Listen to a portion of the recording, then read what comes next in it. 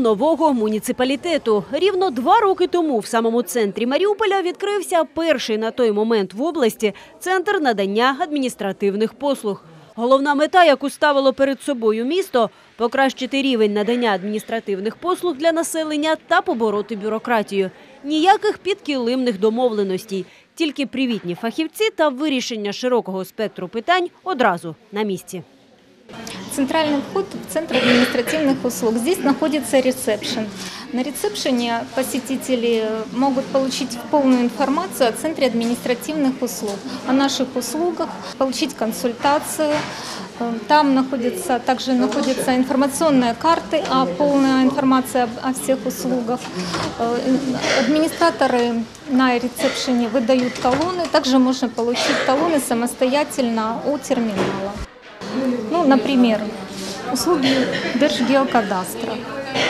Касанием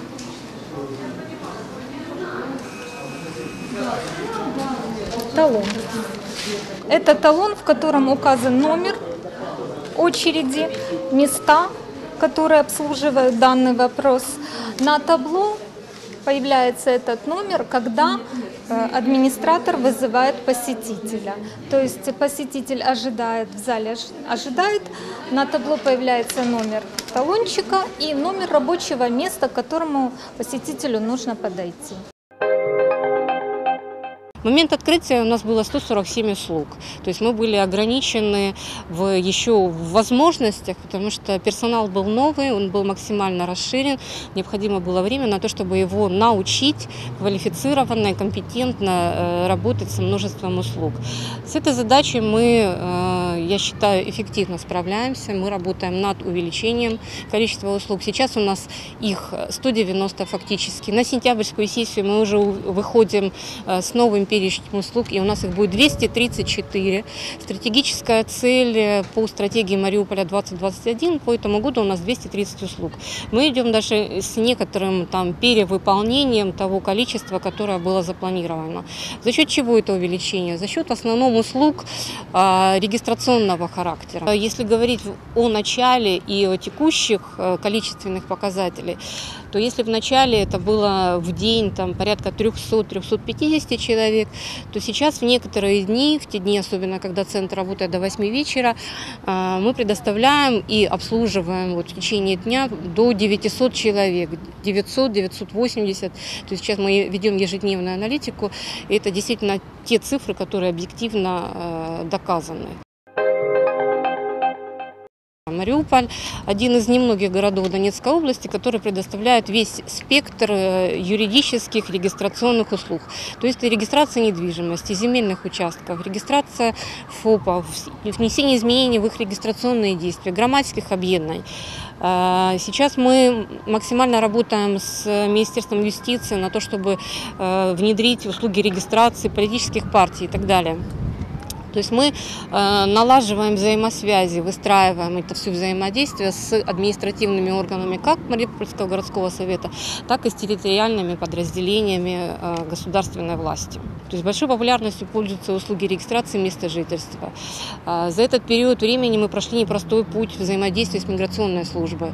То есть до приобретали станции. Сейчас э, в департаменте Мариупольского городского совета 10 рабочих станций, чем может похвастаться не каждый областной центр вообще Украины. То есть мы предоставляем услуги как по выдаче ID-карточек, так и по загранпаспортам. Услуги разноплановые, да, где-то требуется занесение данных в государственные реестры, потому что большая часть персонала у нас уже имеет высокую квалификацию. Мы ориентированы на то, чтобы принимать людей а, с, с магистерским образованием, для того, чтобы нам потом это упрощает э, вопросы прохождения идентификации для доступа в государственные реестры. То есть если это услуга там, подачи документов на разрешение строительства, то это 7-10 30 минут. Если это услуга регистрации места жительства, если еще с, с выпиской, пропиской по новому адресу, получением там нескольких справок, то это 15-20 минут с учетом оплаты. Если это услуга регистрации общественного объединения, где много уставных документов, где требуется большой, большой объем сканирования, то в данном случае время оказания услуги 35-40 минут.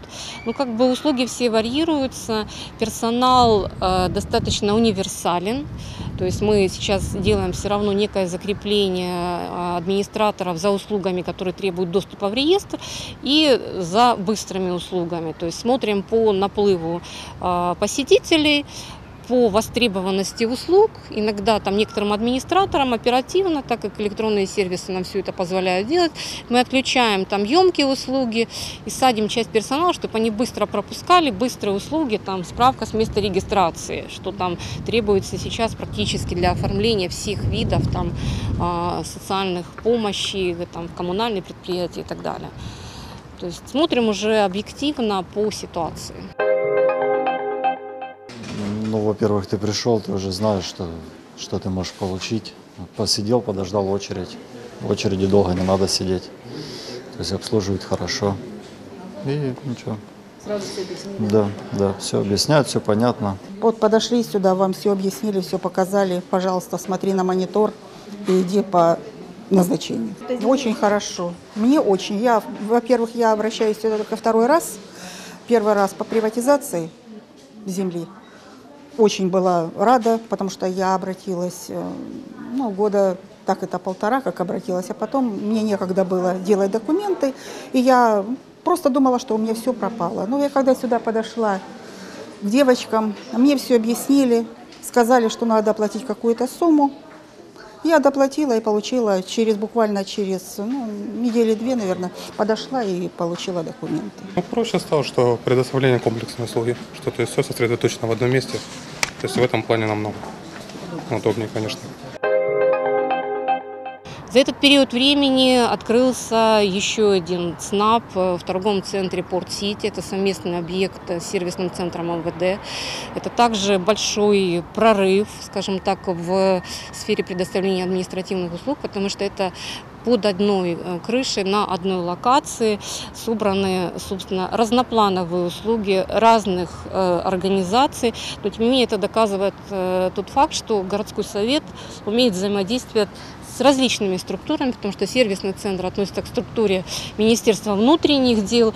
Это абсолютно как бы э, другая структура, но тем не менее мы открыли этот совместный центр и сейчас достаточно эффективно и э, взаимовыгодно сотрудничаем под одной крышей в, одной, в одних стенах. Сейчас у нас э, мысли о перспективе, перспективе открытия мультицентра «Союз» на левом берегу, потому что ну, действительно уже горожане и посетители отмечают, что пора открывать новый, потому что этот уже не покрывает э, всех возможностей. Потому что чем больше мы наращиваем количество услуг, тем больше к нам идет наплыв людей, а получается так, что в некоторые дни людей очень много и приходится долго ожидать в очереди. Это, естественно, как бы снижает сервис предоставления услуги. Поэтому э, хочется разбавить и территориально, и количественно вот текущий ЦНАП. Э, поэтому сейчас идет масштабная реконструкция бывшего кинотеатра «Союз». Э, стройка ведется круглосуточно, и уже городским головой поставлена задача открыть э, данный центр март-апрель следующего года.